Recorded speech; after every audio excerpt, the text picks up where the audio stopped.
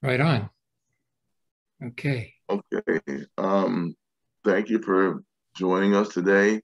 Uh, I'm Steve Struggle, um, Revolutionary Internationalist fighter here in North America. Uh, to, um, today we want to really you listen to us on Pantherism, my YouTube channel, and I want to introduce uh, Dr. Abraham Weizfeld. We, we're gonna have a dialogue about topics of interest and importance today. Dr. Weizfeld, how's it going? It's a, uh, it's a hard struggle as always, you know, but uh, it's really great to make the, this progress with you. That makes it all worthwhile. I agree. Thank you. So, you know, we, um, we were talking uh, before this show began, and you wanted to share some some updates about political prisoners with people watching our show. Yes, I came across a report about the uh, Black Panther Party uh, political prisoner H. Rap Brown, and I didn't even know that he was still a prisoner. It was incredible to me to find out about this, and and to also realize the lack of uh, solidarity for, you know, political prisoners in the United States. There used to be a time when there was a lot of uh, organizing going on, you know, with Jim Campbell in the 1970s in Toronto, when I worked on on uh, his publication, you know, which were letters from uh, political prisoners, uh, prison no- prison notes, I think as it was called, and uh, it was the only way, you know, for prisoners to get uh, published, and we did it every month. So, you know, I wonder why, you know, this isn't being done, you know, on a mass scale nowadays. I understand there's a couple of organizations that you mentioned uh, that are concerned with uh, political prisoner support, but uh, generally they're not known about. Uh, what, what are those organizations again? Well, um, I know of three. One is the MIM Prisons. MIM Prisons is part of the project of the Maoist Internationalist Movement, and they actively support prisoners in their struggles against the um, prison administration and also give solidarity to political prisoners, and people can find them on the internet. Uh, second group is the Malcolm X Grassroots Movement. Malcolm X Grassroots Movement. They're also on the internet, and they focus pretty exclusively on African American political prisoners and prisoners of war. Um, their goal is to, is to liberate um, these prisoners through through through legal means, and um, they have been successful and in recently uh, in helping to obtain the release of uh, a few imprisoned Black Panther members in the in the East Coast. Mm. A third group is the Jericho movement. Again, the Jericho movement, like online, and their focus also is to support and um, give solidarity to political prisoners inside and to work to free them. So those are three groups I know of. If people watching this show want to want to connect with them, uh, you will find them on the internet. MIM is more of an underground organization, so they might not be. Uh, if you want a mass movement kind of uh, focus, that's not where, where to go. But but in the same time, if you want to focus on prisoners and their current strikes and movements against administration, the lack of the lack of the lack of care for COVID, in prisons, how COVID essentially taken over prisons, you know, MIM would be a good place to go also. So I I do know of three those three groups.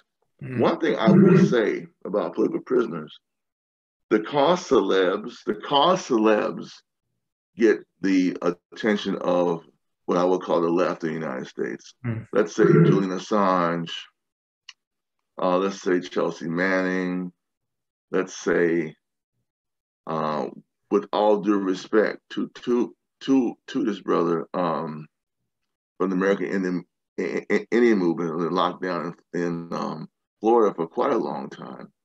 There's certain people that get attention. Uh, his his name is Leonard Peltier, mm. But in general, the revolutionary socialist internationalist communist movement, for some reason, has a blind eye to this. In general, I found the I find the anarchists are the best in supporting political prisons within the United States.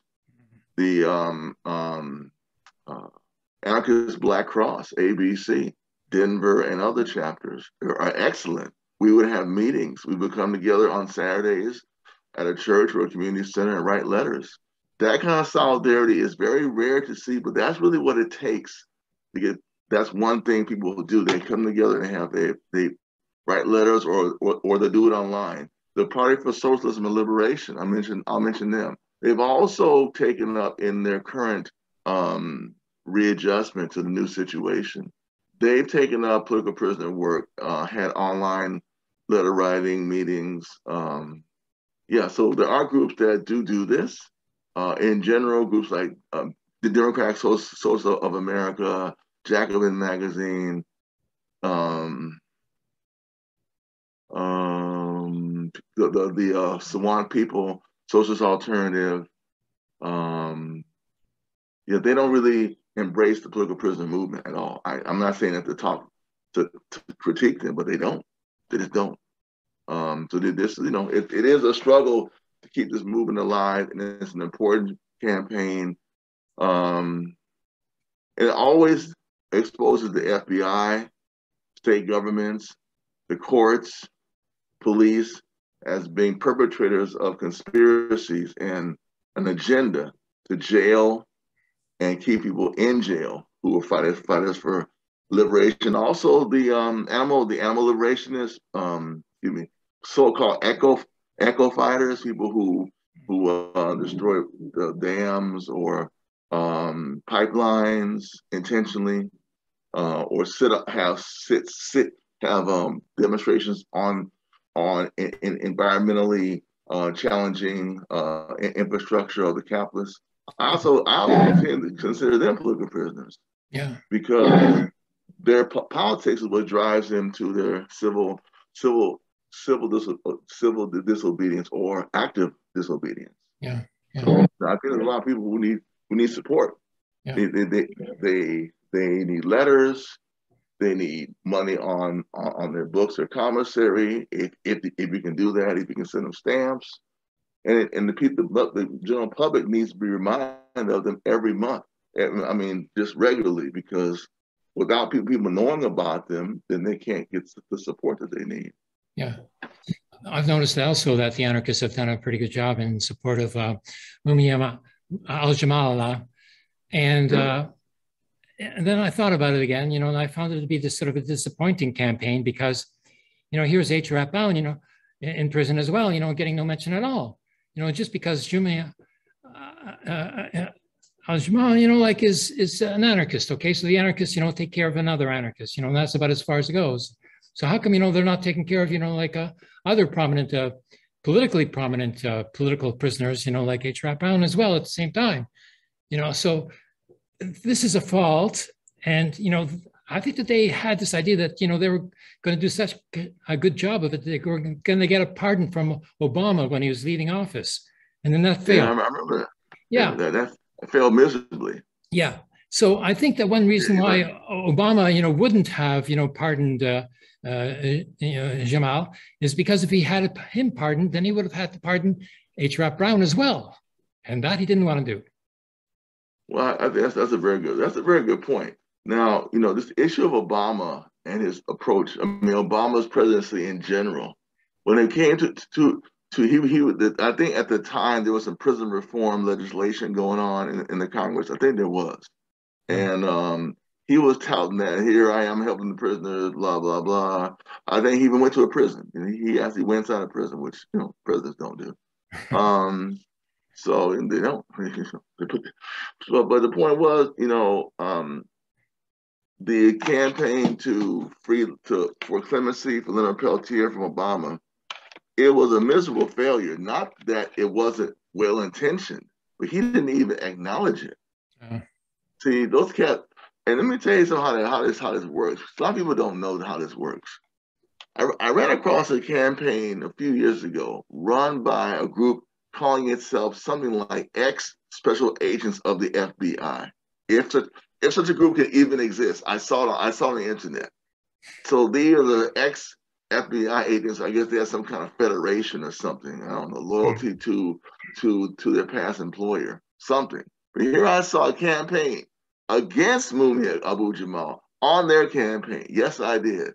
They said, make sure you write letters to keep him in jail. Whoa. So, you know, I mean, they're straight up. So, you know, Obama's inaction just dovetails with their action. Uh-huh. He didn't, he, he, and this is why people critique Obama, they have to be more critical. You have to be critical about what he did not do. Yeah. He didn't do much. Well, I mean, if if people of color, if black people and people of color expected something from him, even let somebody out of jail, just sign a piece of paper, he's out. But gone, you're out. You know, that's all you had to do. You were you were you were you were, you were leaving office anyway. Wouldn't even do that. So I I I have no love for the man. Yeah, no, no whatsoever, because that's something that'll be nothing to do. Yeah, no. Trump has pardoned. Trump pardoned all kind of war criminals, people who carried out massacres in Iraq. He had no problem signing, did he? None whatsoever. Here, I'm letting you out. Yeah. Right? He had no problem, didn't he? None. Yeah. None whatsoever. Trump would one thing about Trump, when it came what he believed in, he would sign on it and make, make it happen. Obama, yeah. he he didn't really believe in no freedom, no liberation, no no civil rights. No, he didn't. He done, he would get he left his kids out of jail. Mm. Just let him out. Here, you're out. You're out. Bye. Yeah. yeah. Well, well, well, well, sorry, man. My last in office. Fuck all of y'all. I'm leaving. I mean, yeah. excuse my name, but you know, that's all he had to say. Yeah. That's all he had to do, right? That's, I mean, it's signing your name. Yeah. They ain't hard to do. Yeah. you, know, you know. Even at the end, you know, like he was more loyal to the Democratic Party than he was to the uh, the Black nation and and the American but, people in but, general. Yeah. I, but I, I do want to comment on one thing you said about the anarchists with um with uh uh with with Amumia.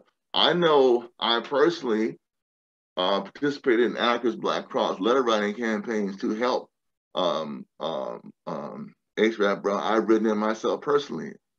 Letters at, at these at these um, campaigns led, led by the ABC. I'm just gonna say I whatever they're doing for Mumia, I've seen them do do uh, activities for for H. Rap Brown because I I I I've been at letter writing meetings. Uh-huh. I've been. Oh, very good. Okay, good. Okay, yeah, that's what's necessary, you know, because you know, like each each movement, you know, cannot be just in favor of liberating its own political prisoners, and because of that, it won't work. You know, there has to be unified, you know, like a united front, you know, of opposition to the uh, political prisoners uh, and, and continue to. Uh, and I, I, I think that you know, as it, it, it demonstrates it demonstrates, you know, that how how afraid the state is of their words, you know, and then of their lives, you know, because essentially putting a person into a prison, I can tell you, is like making them dead. You know, they they don't exist anymore. That's the idea, you know. And whereas, you know, prisoners, I've been a political prisoner as well. I've done about in total about a year, and I tell you, you know, like it took a struggle to get even a, access to a telephone. You know, you weren't supposed to exist anymore. You know, you were like deleted, you know, from society. You don't even get a vote. And then, you know, like you're supposed to be able to, you know, have access to postal services and to write, you know, complaints, you know, to the ombudsman and all that sort of thing. No way, you know, any post is controlled, you know, by the prison. And, you know, like if you want to talk about, you know, internet access and having computer, whoa, or, or a, mo- a mobile phone, you know, like, like this is, you know, like all part of, you know, some sort of, you know, like mentality to destroy a person so that they cannot, you know, think of themselves as the as being alive anymore. And this is, you know, the most horrible thing. I'm certainly in favor of prison abolition. This is part of the whole movement as well. But it just gets me angry, you know, just to think about, you know, what I've been through in prison myself. I've done two weeks in solitary confinement and a hunger strike. They're trying to, they, they would have let me die, you know, which was something that I couldn't care less about at the moment. It's, you know, really something. Prison is really something that has to be taken care of. Well, okay, so I hope other people, you know, start to do this sort of thing. We used to do other stuff like uh, pen pals, you know, with the political prisoners as well.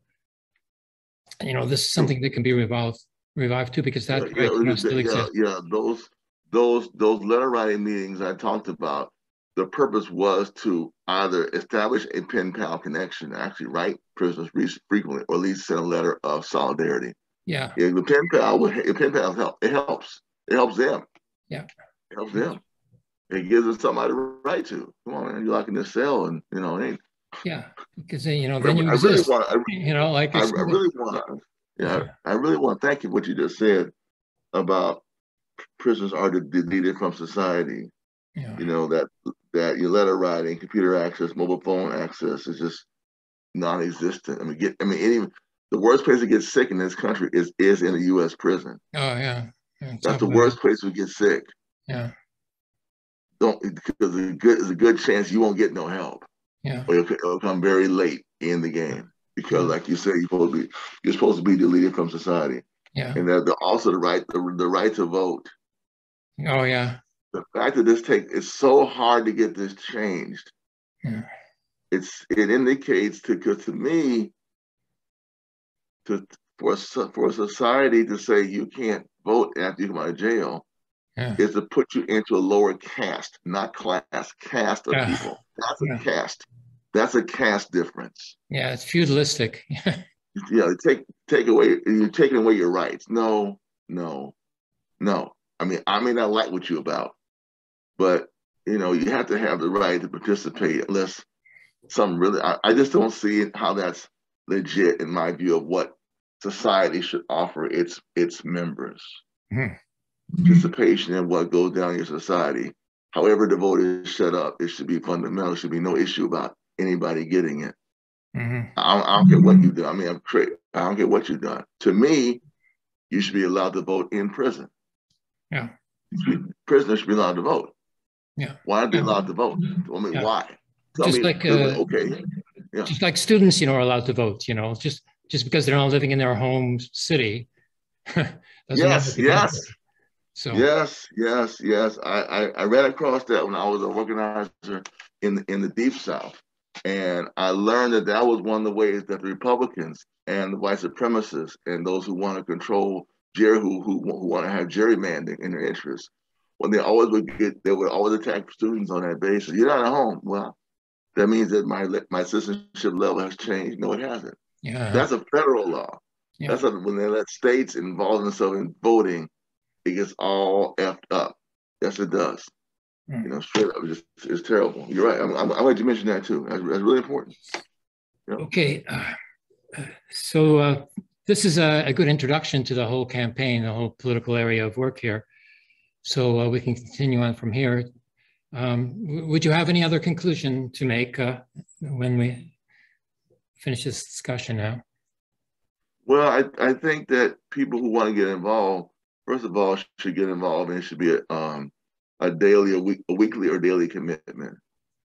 Here's how you do it: you got to commit a certain amount of time. On if you can do that, to go to websites and read, to write people, to um, commit in some viable way.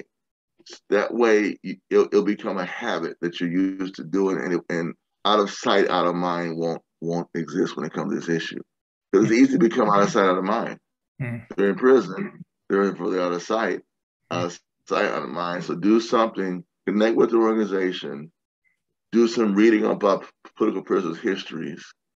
Um, just make a connection, and uh, let's let's keep this in in the forefront and not not in the background. I think that's the best way to do that. Very good. Okay. I I hope that uh, listeners will provide, you know, addresses to contact uh, various political prisoners and we can start to build up a list. Yeah, as a matter of fact, I should just make that available. Some make make make some links available in in the chat Very good. once once this is posted. Yeah. Because it, it this it, it's very it's it, it feels good. I'm gonna tell you, it feels good writing letters. It feels good writing those letters. Mm. It feel, it just feels good, like you're connecting with, with with these with these with these human beings who've been there because of what they because of what they stood for as far as U.S. imperialism. It feels good to reach out to them. Yeah. That's all I can really suggest. You know, I really do. Okay, so